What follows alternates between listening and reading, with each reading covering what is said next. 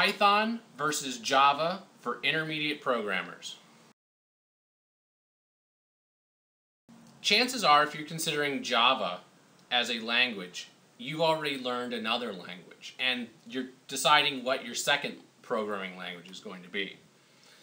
Python and Java are both great web platforms, and if you're experienced with Google App Engine, Google App Engine will run either of these languages. The advantage to Java, in my mind, is really that you're able to write both server code with Java and client code with JavaScript. And because of that, you can do more rapid development and share some of the load between the client and the server in a well organized, well thought out Java application. Java is also interesting because it runs on a whole bunch of phones and other electronic devices, which gives you more platforms instead of just web development. Python, on the other hand, is faster for me to write code in. You can do more with a line of Python than you can with a line of Java. And so the development cycle can be shorter on Python than it is typically on Java in my experience running Google App Engine, the differences between Python and Java in terms of performance have been very similar. Um, I find that Python tends to use less memory, Java tends to use less CPU cycles.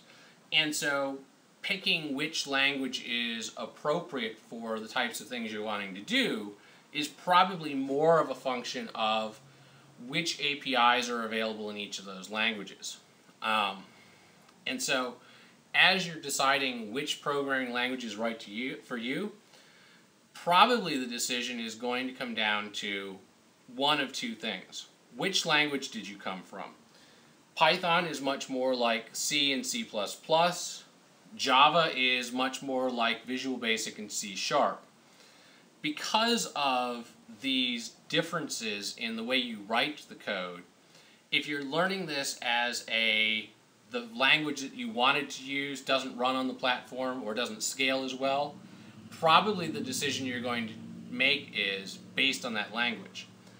The second possible choice would be what your end game is going to be. By learning Java, you can write for more than just the web, which is a huge advantage if you're thinking about going into gaming or mobile phone application development. Python is pretty much right now limited to web applications. There are a whole bunch of console applications and other things that can be written in Python, but most people aren't using Python in that manner. That isn't to say it can't be done, it's just not as readily available. Writing in Java, there are a host of devices to write for. Writing in Python, there's not. Um, and that's really what it comes down to is which languages do you already know and what's your target application.